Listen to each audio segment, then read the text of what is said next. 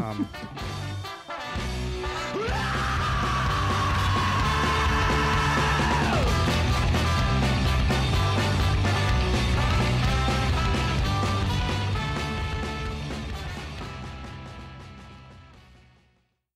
Welcome to How to Write Good, the writing podcast that is not about how to write.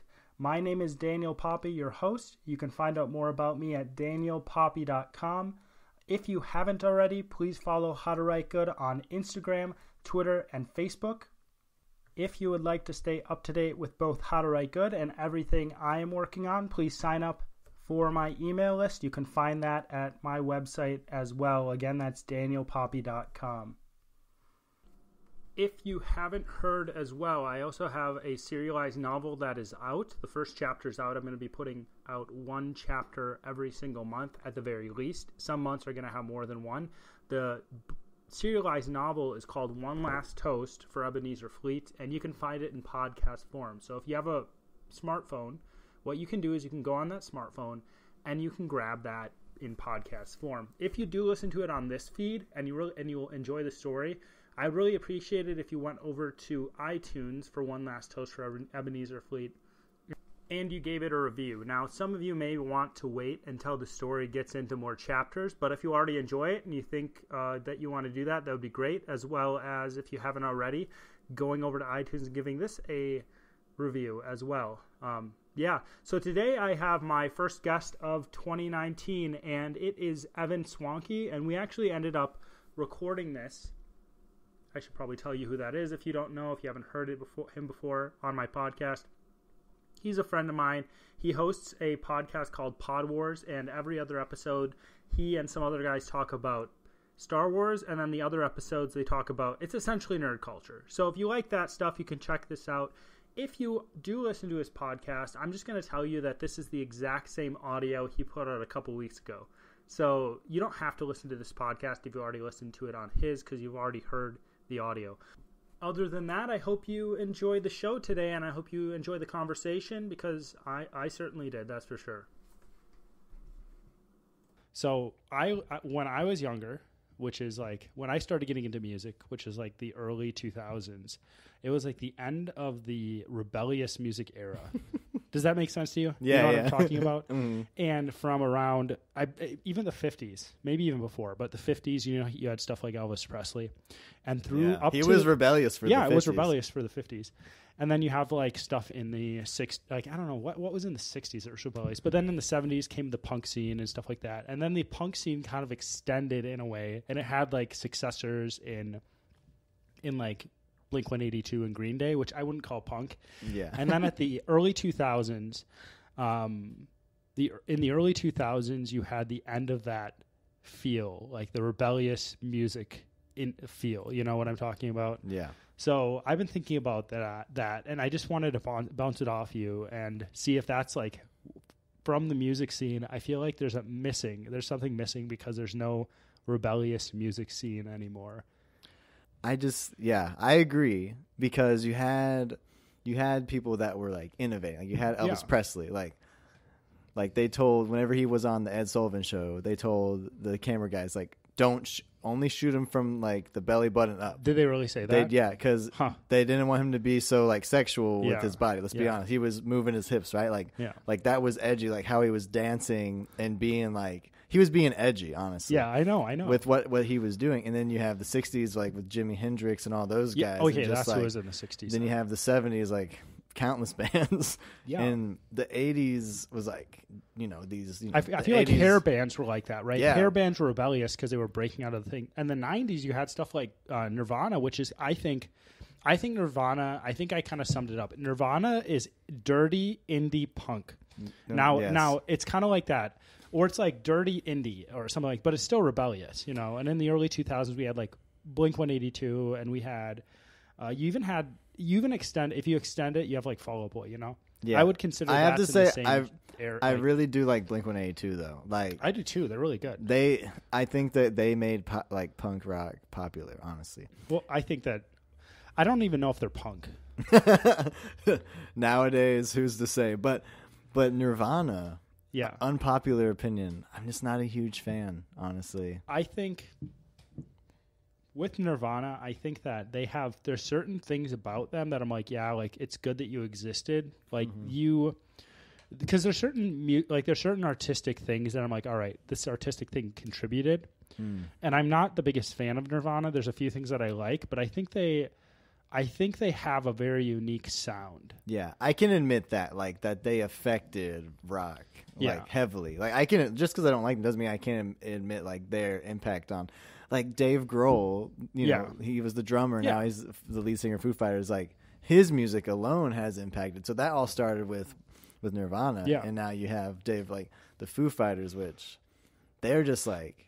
I feel like the Foo Fighters are, are like that are that mainstream rock Yeah. like they're the mainstream guys that are trying to hang on to it, but they're still like on the edge of being pop. But I mean, it's good. but I do you think the Foo Fighters is like does it does it does it convey rebellion?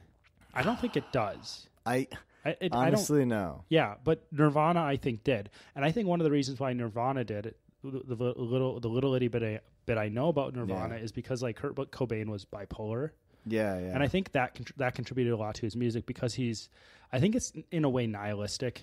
You know, I think Nirvana was in a bit because they Mm-hmm. Which- made songs that were just not gibberish lyrics, but it was just like here, whatever. which And is which is very, like- honestly one of my big problems. Like yeah, like I it's it's smart because the the music really portrays how he felt. yeah, uh, Like, yeah. So like that's you why I feel when that's- you listen to it, you feel that way, in which I don't like feeling that way. Yeah, I- so I'm like I don't like feeling dirty and like nasty and self loathing. You know. yeah and like i think that there's a place for that because it's like in the human experience you know and so that's why i think it's something that's con- like contributed to art because he's like hey my life sucks or Yeah. times my life sucks but uh, going back to my original question so do you think there's no okay i'll, I'll just restate it it doesn't seem like there's any rebellious music scene right now Okay. Yeah. I was is gonna, that true do you think that's the case I was gonna get to this. I really what like if I could title this podcast and we've just started, yeah it would basically be like like cultural music or something like that. Like like how Sure. culture has defined music. yeah And when you think about those guys back in the 50s, 60s, 70s, you know, before the 2000s Yeah. is they were trying to break out of what was the norm because let's be honest like America was a more wholesome country back then. Hmm. And these guys were trying to break out of that yeah now here, you know, in 2019, America is in a very wholesome place to live. And I think the music reflects that, but not in a rebel way, because there's really nothing to rebel against Yeah. anymore, which is actually one of my hugest problems with like pop songs that are like trying to talk about like, oh, people tell you you're not pretty, well, you are, like, or all these different, they're trying to speak on these weird life things, and they're making a bigger deal about Yeah. it than it really is. And when really there's plenty of people in the world that don't have these terrible, you know, racist or sexist Yeah. Mm-hmm. views, but you're really playing it off in your music. But really, not a lot of people share those views, and obviously, if they do, they're terrible human beings. You know, Yeah. like like good normal human beings will share that view. Like, yeah, racism and all this is wrong, but the media plays it up. So, I I'm sorry, I don't even know where I'm going. I I went off my on my own thing, but basically, if I go back to rebelling, we've already rebelled as America. Like our standards are very, our morals are really loose already, and I think the music reflects that more than rebellion. I think Okay. it reflects like, let's go out and party, let's have fun, let's live while we're young. Like that's what the music reflect is reflecting because that's just the generation is the millennials. Like that's how they view like millennials don't like they're already raised in a rebellious like But- I'm just gonna do what I want kind of thing. so one th- and I'm a I millennial, that's so case, though, I can like, say that. I think it's the case that if you look at like traditional morals, the United States has shifted from traditional morals. Definitely, I think we'd both agree with that, right? Yeah. But I don't know if I'd say millennials have rebelled or they're in a rebellious state. I think like I think that they're actually like less likely because rebellion is kind of like a form of risk. You're saying, okay, here's the status quo, right? And I'm going to go against the status quo. And there is a status quo right now. Uh, and our status quo is shifted from traditional morals uh, towards something that's more, you could call it liber, liber, libertine, I guess. But it just doesn't seem like there's anything that's coming up that sh- that is rebelling against. Like there's things that I see that are rebelling against that, but there's no music scene. Like you you know you run into art artists who like rebel against that, or they're going against that, or they're trying to present different ideas. But I don't see a scene, and there's always Yeah. it always seems that there's been a scene um, for the longest time. and that's that's really what I'm saying because I, I'm what I'm trying to say is exactly what you're saying, but Yeah. it's not coming out clear because what I'm saying is the cultures from Yeah. those these two periods are different, you know. Okay. So I agree with that. All right. Because yeah, because millennials, I don't think they're I, they don't they're not big as a generation. I don't think they take as many risks Yeah, as no, past I agree. generations, and and like I think that data shows that. Like you look at it, they're less likely. Um, I think generation. I don't know about Generation Z, but I think mo- with millennials Is Generation Z after millennials? below, yeah, just Okay. below. So right now, I think it's like people who are just graduating college. I think is like Generation Z. Really? Wow. Yeah. So and they're yeah. So we're we're kind of close, not too close anymore. Mm-hmm. But uh, millennials, like they don't take as many risks, Hmm. and I think one of the reasons why, or one of the reasons I've heard, or something I put up, is like they've been protected so much Mm. That they are afraid of taking risks. So they're more risk averse, and um, but maybe that's also with the generation below us too. So like, so I don't I don't necessarily think this is a good thing, but one of the stats was that um, less younger people who like less like high school kids weren't being sexually promiscuous and i'm, I'm not a fan of that but at the same time Yeah. it like um, some people were like oh that's a good thing but the reason why act, yeah the reason why they weren't being sexually promiscuous or they weren't trying new things out is because they were so insulated they were actually afraid of doing something that was different Hmm. and i think that to make good art you almost you can't be afraid of doing something that's different Hmm. Yeah. And that's and that's really personally where like the whole idea of trying to make new different art. Yes. I don't even okay. Honestly, I don't think it can be done. like I think everything is just an idea of something else, you know. can you explain like okay explain that more please Yeah, I know.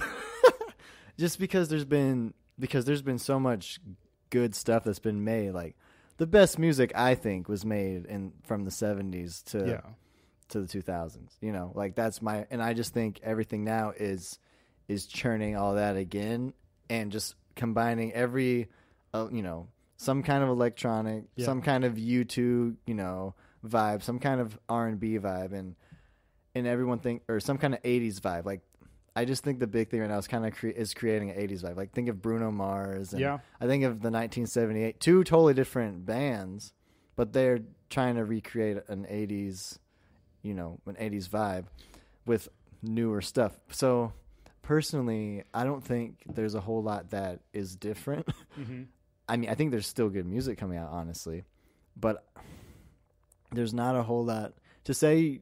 Like to say your band is different, unique is is I don't think is is true anymore because there's already so much out there, and there's probably something similar, yeah and there's nothing wrong with that, you know.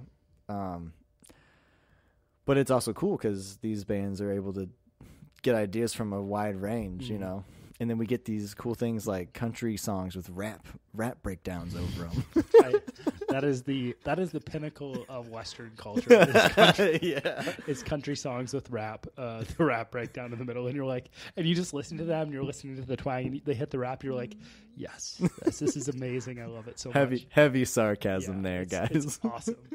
Um, I'm the I hate I hate country. Actually, I like old country.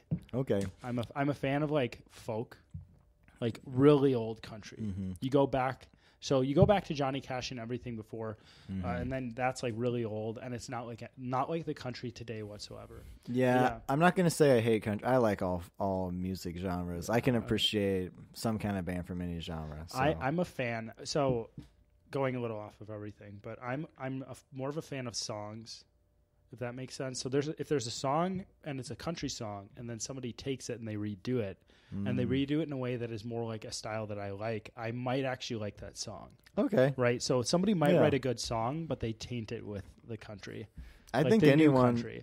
I um sorry. No, I think anyone would agree with that. Like if if someone made this song the way I like it, I would like it. Yeah, but it's the same song. You know, has the same notes and okay. yeah, stuff like that. Like um a friend um, a friend of mine who was on the show, uh, who writes folk. He actually calls the new country butt country.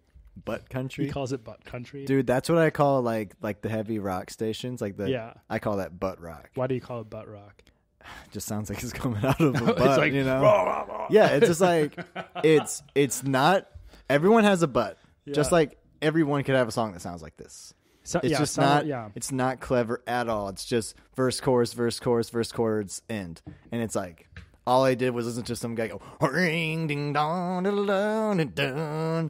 Honestly, new Metallica music is like that. Just Yeah. repetitive and that kind of throaty sing. Like I'm just over it. You know. Yeah. and I don't think it was a shining point in rock history, honestly. Metallica was very no, cutting edge. singing. Yeah, it's and it's like the crazy thing is it's still hanging around, and there's still a whole station. There's multiple stations on the Reddit radio dedicated to that to that kind of music. Okay, okay, I okay. So to a certain degree, the throaty singing is like a guilty pleasure because you know you run- you run into those things that are just really bad, and you think they're so stupid, and you wonder Yeah. why anybody ever did them. But you're mm-hmm. like, okay, like somebody did this, so I'm just gonna like enjoy the fact that it's so bad. Another guilty pleasure, another guilty pleasure of mine. Another guilty pleasure is pop music, like certain pop. That's like, alright. Just like no, no, no, like this crap they play on the radio, right? And some of it's really good, right? that- some of it's it like is. wow, but I like the crap, like Kesha. Dude, Okay, Kesha isn't generally very good, but at the same time, it's so bad that I enjoy it's it. okay. So you're saying it's like it's a bad that it's funny. Yeah, it's so bad Okay. that I'm like, yeah, I'm gonna embrace this. Like, uh, you know the song? I don't remember what it is. It's like, "Hush, girl, shut your lips, do the humming counter, and talk with your hips." It's so such a stupid line, and Remind- part of me thinks it's genius. Part of me thinks it's just completely ironic, and they're just writing it to be ironic. But part of me is like, maybe they're serious. Yeah, you know, honestly, I have this deep, deep belief that like the smartest artists, like let's talk Kesha, Miley Cyrus, Yeah. Lady Gaga, they play dumb, but they're so smart. Yeah, I wouldn't. I mean, I think they're smart humans, but they're playing dumb because they know that's what will will get Yeah. plays. Speaking of Miley Cyrus, there was this dad. I was walking with my with my daughter.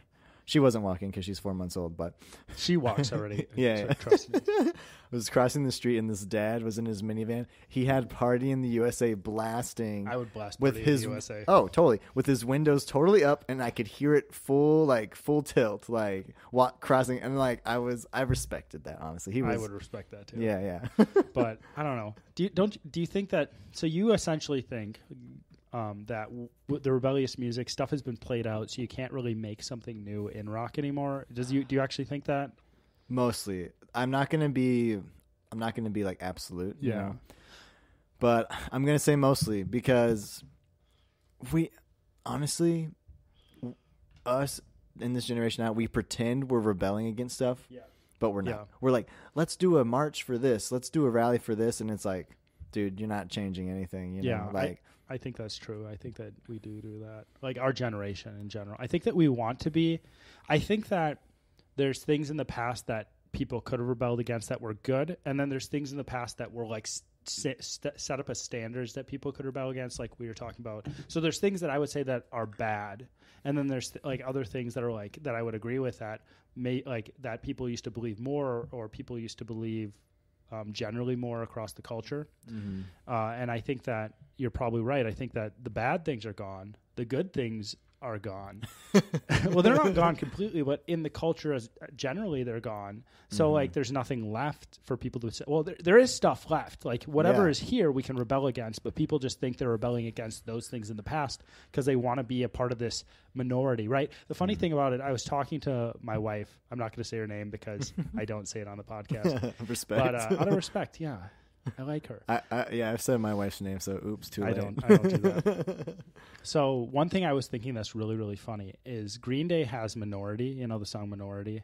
okay, no, I don't know. You don't really? it's like it talks about I want to be in the minority, and there's a, a line in the band, a line in the song called okay. It says I want to be in the minority, down with the moral majority. The funny thing about that song is essentially like um, the moral majority is Ronald Reagan's coalition, I believe, right? So Dude, their songs are so political. They are- It's they're so political, political. you'll never know it. But- it's like insane. Yeah, the funny thing is, so the moral majority was Ronald Reagan's coalition. So in the 80s, there was a lot of like a really big conservative push. The 90s, Bill Clinton came around. And the really funny thing about it is is when did Green Day write that song? Like around the time that Bill Clinton's presidency was ending and ah. the more liberal like side of things kind of took over the culture, right? Or had already taken over the culture. So Green Day was singing I want to be in the minority even though they were in the majority.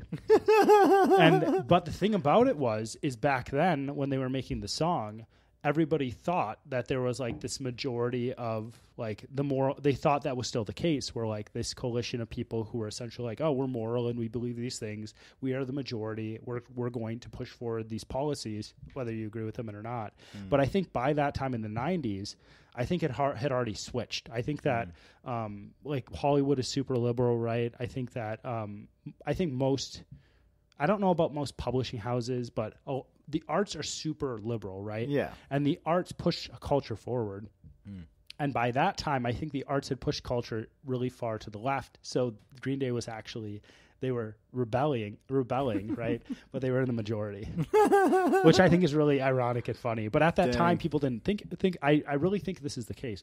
At that time, people didn't think they were, so they accepted this, accepted the song as being a good song because if you have a song that's like rebelling against something, it has substance to it. Yeah. But if you're making a song and there's nothing to rebel against, it's like, what are you doing? Like this is a joke.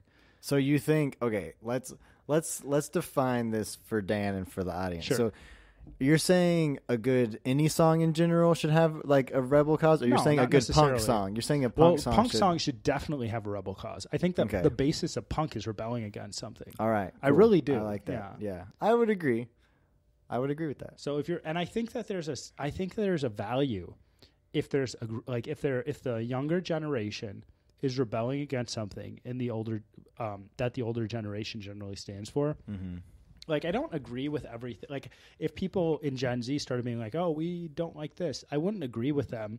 But at the same time, like not having that music scene or whatever scene, you know, it's generally music because music is is easier to prolifer. Prolif- it's easy to spread, Yeah, yeah. right? It is. Music is easier to spread, and you can do it in smaller chunks, and you can you can like get people to hear it. So like I don't know. I think that I think you. It's weird not to have it, you Hmm. know. yeah. And I don't know if it's good or bad, but I kind of miss it. Yeah, some we can come back to that in a little bit, but something you said that makes me think about today's culture is you said music is easy to spread. Yeah. And this is something I thought we want to talk about is do you feel like it's easier f- for bands to to come out of the woodwork and like get big or harder for bands nowadays? So I think that there's like two things, and they're working against each other. I agree. this. And I'm sure I don't this even know what your two things thing. are, but I agree that there's stuff working against each other. All right, go. There's there's certain things. Okay, so first, the internet is amazing for art. I think Mm-hmm. the internet is one of the best things that has ever happened to art and ideas in general because like because we wouldn't be having this podcast if the internet didn't exist. Because what like like I would have never thought, "Oh, I'm going to go and I'm going to broadcast something." You know, I would have Yeah. never thought that because that'd be life. such a big endeavor to go on the radio Yeah. or whatever. But like here we are, Yeah, so us two peasants, you know. Yeah, us two peasants. and I don't know why anybody's listening, but us two peasants. So we can Yeah. Mm-hmm. broadcast our ideas, which whether they deserve to be broadcasted or not, that and also like art in general. So I have a book out. Check out my book. Yes, go check it out, guys, for real. He hasn't read it, so Hey, I he's will. read about three chapters, I did, but he's gotten pretty far for him. So and I had a kid. Okay, a kid well. I had So- a kid in the middle of it. for my book, uh, the regular process for getting a book done is you get an agent, which may take a year. So you have to write the book first. But after you write the book, you get an agent, which may take a year if the, your book is good enough.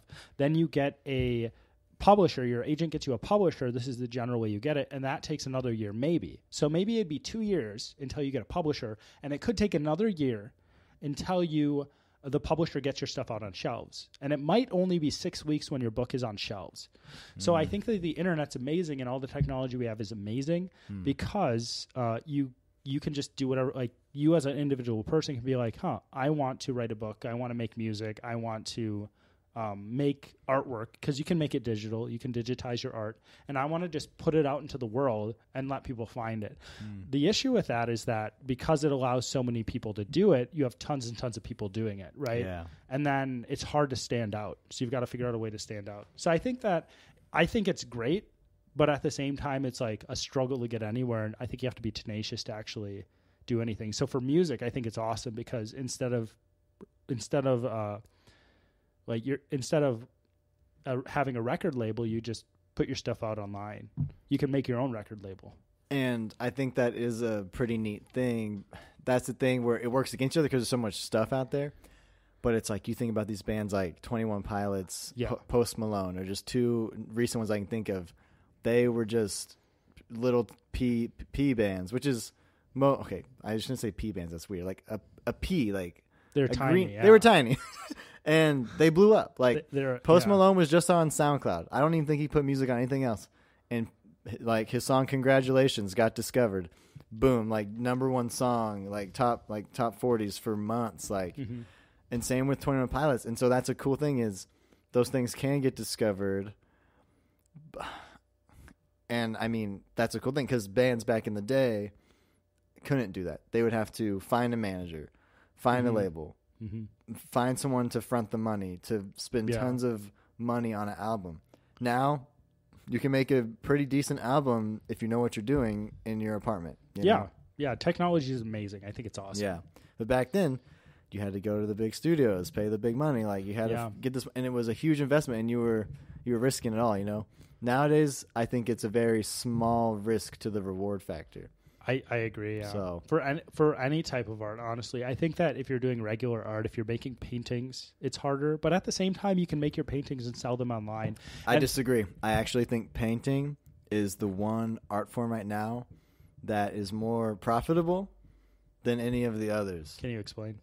I have a painter friend. This is the only reason I know. Is here's the thing. You know, you you know how you have like a goal, like you want to write write books for ten years and see what Yeah. happens. Oh, five years. Five Five, years. years. I'm going to say oh five years, and let's see how five years pans out. So Yeah. my buddy said like he's like if I could take a five year break or ten year break and work on paintings, he's like I'm pretty sure I could get big Mhm. like and make money because there's people that actually still buy paintings Mhm. and pay big money and all this stuff. People don't buy music or books unfortunately as as much Yeah. anymore, and so I don't know It's, it's from less reward for a book, you know. yeah, yeah, exactly. Because the fact that I live with this this awesome painter, his name's Matt. You should check him out um, on Instagram. He's got cool stuff. It's like Matt W. MWM Studios. Go check him out. But I learned from him that it's actually pretty like profitable business, but you have to put the work in behind, like ahead of it. So, so Yeah. what were you gonna say? well, I think that people think of it in the incorrect way. For first of all, you have st- people like uh, Twenty One Pilots was it, and, and then Post Malone, yeah, yeah, and they got big. So I think that for them, I, maybe it's not the case for them, but most people think that people just get big out of the blue, and you don't know how much work people are doing behind the Mhm. scenes. Have you ever heard of the tipping point? is that a book? Uh, there, it's a book. I think it, I think the whole book. So there's a guy called Malcolm Gladwell, and he talks about he has a book called The Tipping Point, and, and essentially you can think of your work as like a bucket, and the bucket fills and it keeps on filling as you do work. So it, it compounds over time, and eventually Mm. it tips, right? And that's the point where everything starts just like snowballing. Dang, so you get that's kind of what I was saying about my starts like snowballing, yeah. painting. Yeah, yeah. Yeah, so it's snowballing. So that's one idea. Like you do all this work and you're like, oh, like I'm going to keep on working, keep on working, keep on going. That's why I set like a, hey, let's see where I am in five years, right? Yeah, man. So if I put five years into this and I actually am working on it, because I think some people think, oh, I'm just going to do this as a, hobby. I think you have to be like, no, I'm going to take this on as like a job in a way. This is going to be my my side job, and I'm going to put time toward it every single week or every single day. Hmm. Maybe not a lot, maybe like 15 minutes only, and then eventually that's going to compound and it's going to build up, and maybe it won't be five years, but maybe it'll be 10 years, and then it'll hmm. tip, and then you'll be able to do that for the rest of your life. Which I mean, with music or like with me for writing, even if it took 10 years, and suddenly it's like, wow, you're making enough money to live off of, I'd be like, awesome. I only had to spend 10 years, and the rest of my life I can do this, right? yeah, yeah. But there's this other idea too. Have you ever heard of the 1,000 true fans idea? no. Okay, you you like this. So you don't need the whole world to know about you to make it as someone creative. You Okay. only need 1,000 people who love what you do. I'm a believer in that. I Yeah. believe that. You only need 1,000 people who are also love for what you do and love what you do. Mm. So what you do is instead of trying to get the whole world to love you, you make your work and you try to get it out and you try to get it out to the people who are going to really love it. You connect to those people and you nurture those those relationships. And then what you do is you're like, wow, I have a thousand people, and this sounds pretty like focused on money but i think anybody Mm-hmm. who's creative i think you should focus like this instead of trying to make the world love you try to get people like a small group because i think a cult following is almost more satisfying than Oh, I agree. mass appeal I agree. I would I would actually rather have a cult following than mass appeal, but you get a thousand people and you just you you give them what they want instead of what Mm. everybody else wants. To be like, yeah, I do what I like. I do my work for these thousand people. I've always believed that. I just didn't know it was actually called something. That yeah, it's a thousand. It's a thousand t- true fans. It's actually a thing. But what is that a book too, or is that just a saying? It's I can't remember. I'll I'll put it in. I'll try to find out who did it, and I'll send you the link. But I'll I'll put it in um, my show notes as well. Uh, so this podcast is going to be on Evan's podcast Pod Wars. It's also going to be on mine, but you probably Yeah. already heard that. So if you if you are on my podcast, you can check out his check out his Pod Wars and check out mine if you're on his. And mine is called How to Write Good. There you go, some plugs. But I don't know. I think that's more satisfying. So instead of focusing on millions of people, you get a thousand people, and if a thousand people pay you fifty bucks a year, right? You get fifty thousand dollars a year, and you can live off of that, and it's mm-hmm. really modest. So do your work, get stuff people those people want, and give it to them, and then they'll buy it because mm. they want that stuff, and you're creating stuff that they really love. And then you've got your fan base that you can work off of. So I think people think too big. I think people should think smaller when it comes to it. I'll be one of your thousand if you be one of my thousand. I will be. I'll be one of your thousand. Get 'em- get an album out. yeah, I guess I gotta do the work first, Get like an you album out. Do the work. Get the album out. I will buy your album. What I was thinking about though is I like having um, musicians on my show. Dude, okay, I have to seriously plug you and encourage you. Like, I really love your artist interviews. You you ask like really good questions, and you always get like like cool people to come Mm-hmm. on. So go check out how to write good because once a month or every so he tries to have artists on, and those are I really enjoy those episodes. Yeah, So. I appreciate that. Also, I also really enjoy your new uh, novelized serial Serialized thing. novel. Yeah, serialized audio, audiobook. So if if you don't if you're not a guy that has or or a girl that has time to read a big book, um, but you want to get a taste of like Dan's writing, you should definitely listen to his new serialized novel. It's called One Last Toast for Ebenezer Fleet. If you type that into any podcast app, you'll find it. Yeah, I'm pretty sure that's the one thing, but it's cool. Like he's doing he's basically writing a book and doing an audiobook, but one chapter at a time. Kind of like I don't know, like like a TV series that Yeah. like comes out once a week. So. I thought that was cool and unique, so I just had to share that. But anyways, go on about your artist interviews. So what I was thinking about with artist interviews is I was going to um, make a because I wanted to appreciate the artists I had on. So I wanted to make a playlist of the artists I had on, like musicians, because it's easier to make a playlist, so that I'm listening to their stuff. Because sometimes they get lost in the fray, and I'm like, why don't I just like if I have a lot of musicians on, I can toss them into a playlist on like whatever I'm using, and I can listen to their music. Dude, I had this weird thing like literally two days ago.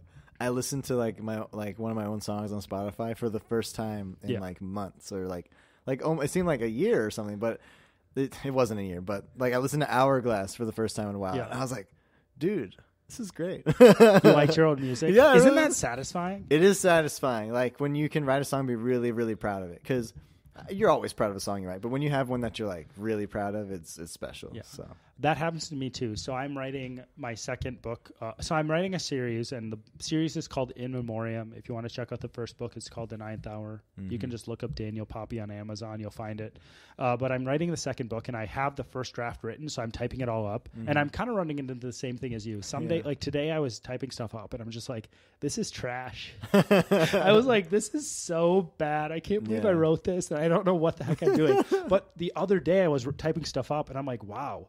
Like I can't believe I made that. That's so good. Yeah, Like man. you run into stuff, you're like, whoa, whoa. I, Yeah, I, I think, I think when you like, for me, it's really, really satisfying because I'm my biggest critic. You know. Yeah, And yeah. I, I type this up. I'm like, wow, I'm really enjoying this. Wow, this really hits home. this has the exact emotional effect that, That I wanted, wanted. to have, and it's it's really, really cool. So it's kind of like the same thing as you. It's like one hundred percent. it's really satisfying to be like, yeah, I did a good job here. That's really cool. yeah. But going back to what you're what you're ta- we were talking about before, unless you have something to say about that. No, man, I'm I'm enjoying this. So just keep going on. Okay, going back to that, like, I don't know. I think that, I think it's so. I think the art scene, all all different types of creativity is just it's amazing what you can do right now and what's open to you because there's no more gatekeepers uh, Mm, because yeah. there's no you don't have to get a record label you don't have to get you don't have to go to a record company i mean. You don't have to get a publisher. Um, you don't have to i don't know what the equivalent is in other areas honestly. But you don't have to go through those gatekeepers. You can just be like hey i'm out on my own and i'm going to do this thing and i'm going to put it out. And like for me that's for me i um like that's why i chose self-publishing because i'm like Mhm. well i'm going to fall i'm going to stand or fall on my own merits you know? Yeah. as opposed to just be like oh like I, i'm going to stand or fall based on the choices of someone else Yeah. and I, I think there's something really good about that. I think that I have one more thing to say, but No, I, I like it. think that um, with that, I, I don't know exactly what I was thinking, but I think there's something really raw about doing that. Um, Mhm. It's hard to un- hard to explain exactly, but if you have someone who's making art, like whatever type of art you have, or whatever type of art you choose, and it's just them, and they're just putting it out into the world, and nobody is censoring them? Because in a way if you go to a, through a publisher the publisher is censoring the artist. Because the art, Mm. publisher is saying hey we need to take this out. We need to make it this way. I was thinking about my book that i wrote um, recently that that got published last year that i published last year. I published it. And i was thinking about how if i brought it to a publisher what that publisher would do with it. And that publisher would probably be like okay we have to fix all these um, these sharp edges or we have to do this or that Mhm. and um, I don't know if I've talked about my book on my podcast, but the, I think I talked about it on your podcast. yeah. Well, my, my book is the first of a series. Now, this is this isn't the serialized novel. This is the actual uh, book I wrote. Mm-hmm. the And ninth hour. the goal of the series is to tell a story throughout the whole series, right? And to do that, uh, I don't write. I don't have it. It's not tightly wrapped up in each book. When you have a series that's coming up from a publisher, each book is generally tightly wrapped up, and there's a goal that's there's like a thread connecting the series. Mm-hmm. But because I'm doing it by myself and I don't have to go uh, to the whims of a publisher, I can be like, oh, I have all these threads that are in the series, but I'm not Yeah. wrapping them up until later. Or, I, Yeah, or. I can be like, I'm going to say this, and I'm not going to even say anything about that until five books later, and then people are going to be. And I think that's so much. I think that's super cool. yeah, so it's I think- creative freedom. you yeah, it's creative freedom to do that, and I'm not getting censored. and it's your voice. Like you feel like it's your style. yeah, it's my style, and I'm and honestly, like I think I'm really brutal with myself when it comes to writing. I'm just like I suck. Like when I run into stuff that I su- like, I really I'm really bad at. I've generally been like, wow, I'm really really horrible, and it took a really long time in my life to get to a point where I was just working on writing so much that I was like, huh. I'm I'm actually pretty good, um, and I'm not You're trying not to, horrible, dude. I I'm not- yeah, I'm not trying to be full of myself, but yeah, yeah. like I used to be someone who's just like, yeah, all my stuff is awful. And I just wrote so much and I kept on looking at it from that perspective and eventually I'm like, whoa, I'm not bad anymore. But um See, I still feel like I'm a bad songwriter. I don't know, like i i in that position it doesn't mean I don't like the songs I write, but I, Yeah. I, I'm a bad songwriter in the fact that I just can't keep like spitting out like stuff. Yeah. w- what I Which is why I like your podcast because like you encourage writers that have that issue, and you also try to give advice. You know, yeah, what I would say about that is like just put stuff out. yeah. You know, and I've and been it's thinking about hard, you know, because it. I think a big thing about art in general, and I'm just gonna. I think especially music, especially when you're performing, is you're like really putting yourself out there, and You you're really, are. and you're really Yes. vulnerable. Yes. Like, like, you know, I kind of judge like you know musicians that say they struggle with anxiety and anxiety, can't talk. Um, but I think every artist struggles struggles with anxiety in some aspect. I'm not going Mhm. to say it's like crippling Yeah. anxiety for me at all. But before you play a live show, you get a little nervous and you're like, oh poop. Then you play like a song that you wrote that like you put a lot into, and you feel that like you feel anxious, you know, Mhm. because like that's it's really it's really vulnerable to put out a new song, and you and you want you like your your main feeling like no matter who you are like you want people to like it you know yeah. and and it's like even if you think it's the best song you still feel insecure about it, you know Yeah. so i don't mean to demean people that actually have like severe anxiety but i think people that like oh i have stage anxiety it's Yeah. like yeah everyone does Yeah. like everyone's gonna be a little Yeah. afraid to, to go get up there you know and uh, like i think that I haven't thought I hadn't thought about that with musicians because with musicians you like are up in front of people, you know, Mhm. and that's a different because I always think of musicians as being a little more gregarious and outgoing, and I think they generally are. They generally you are, are. yeah. I, I'm Yeah. not as outgoing as you, and I don't think I'm not. I'm definitely not, but I think they are. But I never thought about that because you're not just going out in front of people. Mhm. You, you have the chance that everybody's going to be like, "Oh, this is just sucky." Yeah, yeah. But I mean, I think you kind of have to go back to what what comedians do because comedians, I think, because that's another form of art. I think comedians to actually get good at it, you just have to get out in front of people and you have to screw up and figure out what works. And I think maybe it's the same way with, with musicians. You Mm-hmm. just keep on putting yourself out there, and you're like, what works? What is what? Do, what do people like? yeah, You know, or what what do people I know like? And maybe I can expand that audience. yeah, Uh, I had another thought and I can't remember what it was.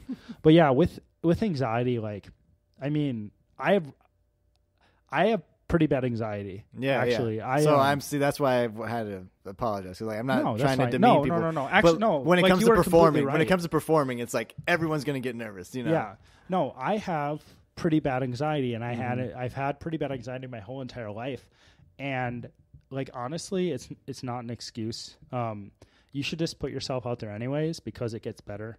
Like you're Mhm. always going to be ner- like if you're someone who has anxiety, like if you have, let's just say you have an anxiety disorder.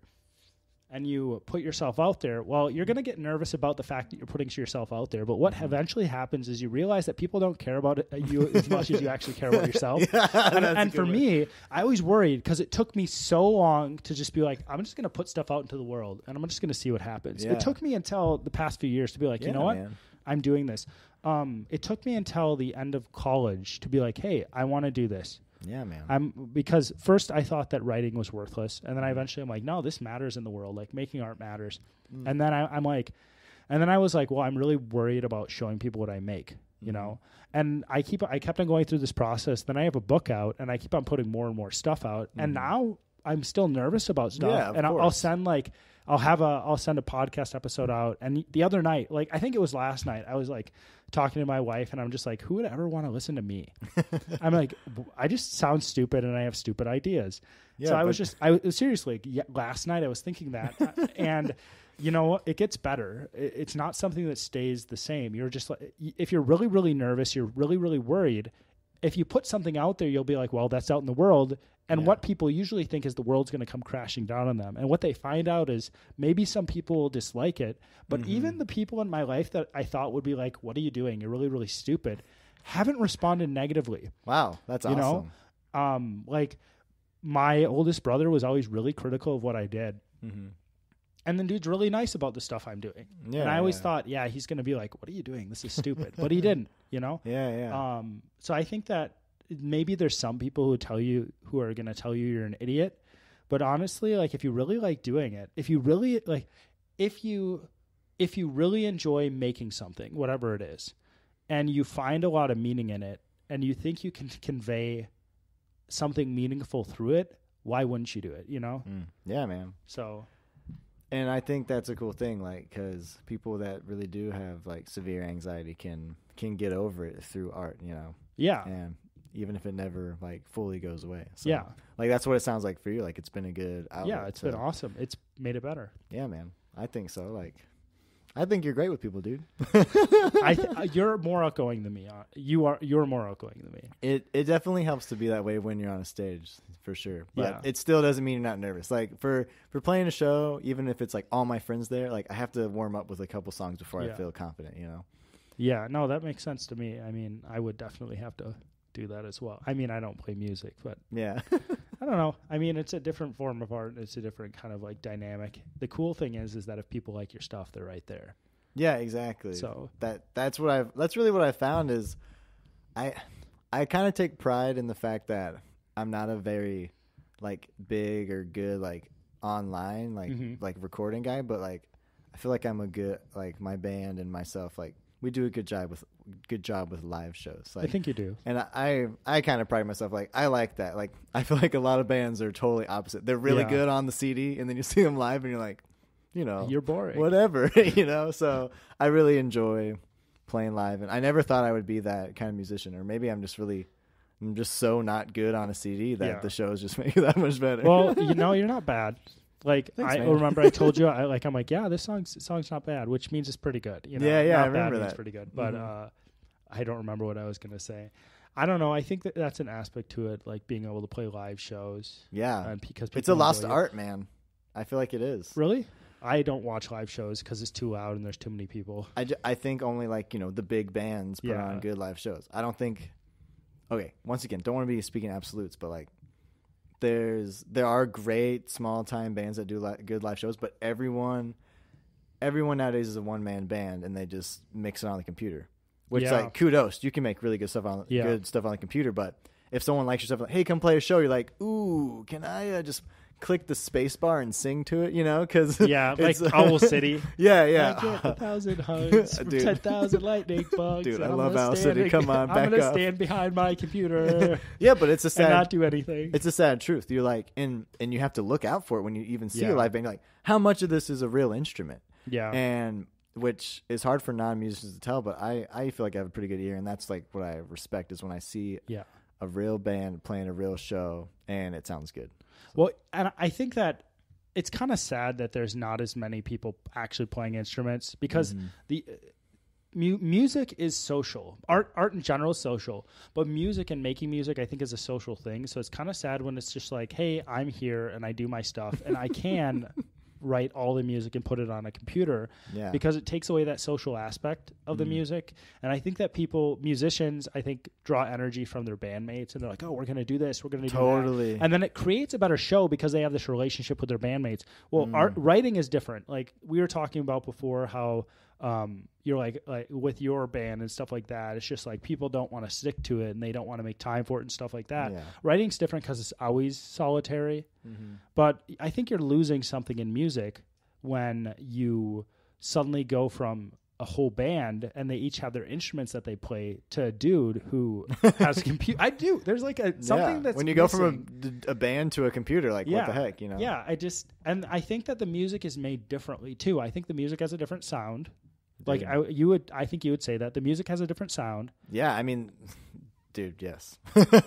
and I don't know. I'm there's probably going to be a point when we can mimic instruments exactly.